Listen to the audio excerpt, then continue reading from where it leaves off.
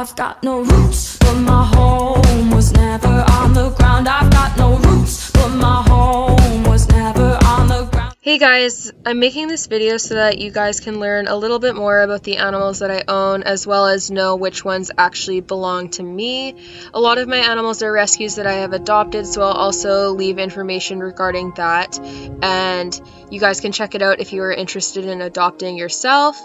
With the horses, some of these horses may not be around for the years to come because they are projects and I do work in horse sales a lot so some of them may be resold to new homes as that is part of my job. However, this is a good reference that is up to date as of now. The first horse I'm going to talk about is my horse Milo. If you have been following me for any amount of time, you've probably heard about him as he is in most of my videos. I adopted him from the BC SPCA as a two year old, and since then have done all of the work related to breaking and training him into the horse he is today. Milo is now 6 years old and he will be 7 in 2019. He stands around 16 1 hands and I show him under the name Milestone 4. He is not registered because he is a rescue and he was just bred great by people who were not very responsible with their horses. But we DNA tested him and he came back numerous different types of warm blood. And we also know that the stallion that was out with them was a thoroughbred. So our best guess is that he's a thoroughbred warm blood cross. Milo has taught me the most of any horse that I've ever owned as he has been such a challenge, but it has been such a rewarding experience and we have really developed an amazing relationship with each other and I wouldn't change a thing. I'm so glad that I adopted him from the SPCA and I don't want to go fully into his rescue story as I have done several videos on that that I'll link below for those of you who are interested in a more in-depth version of it. Milo is a very quirky horse, so he has a lot of weird things that he does. Um, he doesn't like eating treats that are too soft of a texture, so he won't eat stuff like bananas just because of the texture. He'll spit it out. And he hates birds. For whatever reason, he hates them. I'm not sure why, but he hates them. I mostly do dressage and jumpers with Milo. He is my show jumping prospect. We're working on moving our way up the levels in that, but he has some confidence issues that he struggles with, so that is a bit of a setback. But he is exceptionally talented, and I'm sure he will be able to go very far so long as his mind keeps up with his physical talent. Milo is not an easy horse to ride as he is very sensitive and very particular but we match well together most of the time, and as a general rule, he is really quite good. He is very good at bridleless riding and can be ridden basically anywhere bridleless, and I hope to continue expanding his knowledge on this. Milo is my heart horse, and I can't ever see myself selling him. I think that he would be very likely to end up in a bad situation if I were to sell him, and I don't really ever want to part with him. So I am hoping he will be a forever horse, and that is my plan for him as of right now. Simon is a fairly recent addition to the family. I got him from an auction in mid September. He was headed to the kill pen if no one had bid on him. So he is one of the two horses that I rescued from the auction. And then he shipped down from Dawson Creek, which is about 13 hours away from me, and arrived here with me a few days later. I did not know anything about him when I first got him, other than the fact that he was a pony and he was cute and he was young. So when he arrived, it was quite the surprise to find out that he was completely feral and could not be handled at all.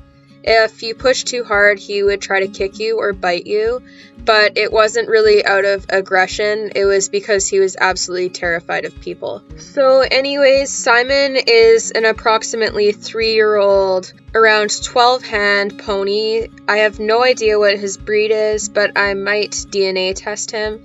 If that's something you guys would be interested in, just let me know in the comments. We have basically no information on him other than his age from the vet, but even then, we don't have an exact age because we're still waiting for him to lose his next set of teeth, and that'll give us a more accurate age. Over the last couple of months of owning him, I have done a lot of work to get him more comfortable with people, and now he is halter broke and can be handled, even though he is still quite nervous. So, for the next while, all of the work is just going to be getting him even more comfortable with people, and then eventually starting him under saddle and getting him safe enough to be ridden by kids because he is quite small, so he is going to end up being a kid's pony but he's a long way from being safe enough for kids.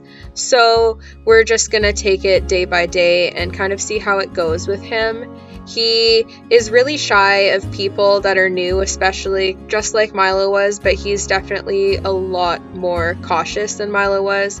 Simon's aggression has pretty much completely gone away, but if he feels threatened, he still will stand up for himself if he feels he needs to. Simon is very food motivated. He absolutely loves to eat. He'll eat pretty much anything you give him. He really likes coming out and going for walks when there's other horses around and he's very smart and curious and he definitely loves being trained with positive reinforcement. This has been so important in getting him comfortable with people.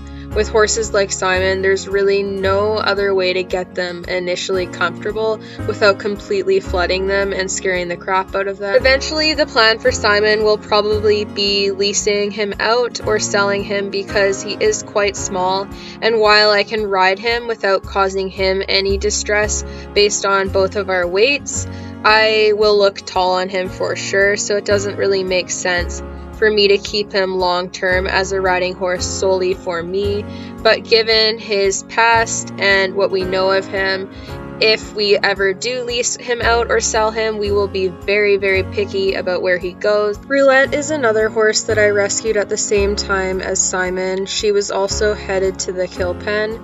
A kill buyer had actually won the bid on her, but he was nice enough to sell her back at the same cost that he bought her for, so she was rescued from going to slaughter as well.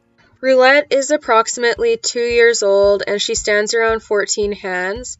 I would guess that she's some sort of quarter horse cross, but again, we aren't really sure what she is.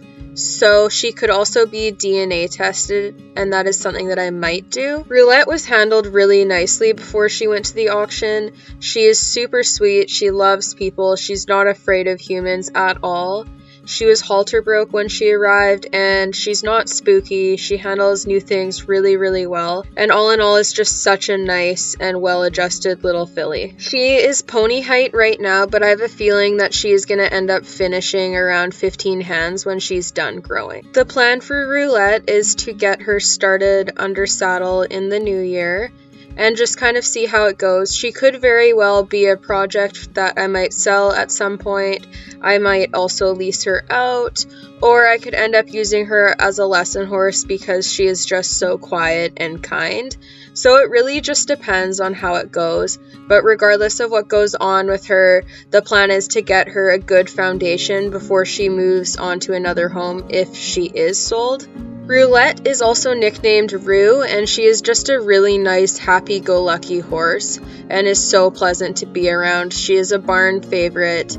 She has some silly quirks like she will not eat carrots or apples. We're still working on that. She will eat other treats, but she's kind of picky about what she eats. Shortly after being rescued, Roulette scratched her leg on a blackberry bush, and the thorn from the bush must have nicked her tendon sheath, and basically it resulted in a rather significant hock infection. So she was hospitalized for that, but has been healing since and doing very, very well. So we're gonna start her back in groundwork soon, and then the goal will be to work towards getting her broke by the spring. George is the most recent addition to my horsey family. He is a three year old thoroughbred gelding that I used to gallop while he was still racing. His racing name is Bionic, and I will be keeping that as his show name. George is incredibly fancy and he is so sweet and cuddly. And for a three year old, especially right off the track, he has an amazing temperament. So he's going to make an absolutely lovely riding horse. I bought him knowing that he had a pre existing bone chip and was told that it wouldn't cause a problem. Bone chips are fairly common in horses, and a lot of horses who have them are absolutely fine to have them stay in and be in continued work with no problems. But unfortunately, after getting a second recommendation, I found out that he needed it removed. So he has now gone in for surgery and had that done, and he is on rest for a few months before he can return to training. And then when he does return to training, he is intended to be my 2019 Thoroughbred Makeover Project horse, where I will show him either in the freestyle and show jumping or show jumping and dressage. I am really excited to start working with George and being able to start training him for the Thoroughbred Makeover Project. He is by my favorite thoroughbred stallion that stood locally named Stephanotis, and he is just such a dream to ride and so fancy. Um, he is one of my favorite horses that I have ever galloped, and I'm really excited to have him as part of my family right now. George was bred, owned, and trained all by the same person, and she took such good care of him and absolutely adored him. So I have all of his history and a lot of baby pictures of him. So it is really such a blessing to be a part of working with such an amazing horse who has come from such great connections. George didn't have an unsuccessful racing career, but his owner decided to make the decision to retire him and sell him to me because we know each other and she knew it would be a good home. And she wanted to be breeding horses that were useful in disciplines other than racing so that they could have lengthy careers as riding horses. George loves treats and he usually answers you when you call him for the first time. He is super friendly and absolutely adores people. Simon is his best buddy and they love each other, but unfortunately they are separated right now because George is on stall rest for the next little while.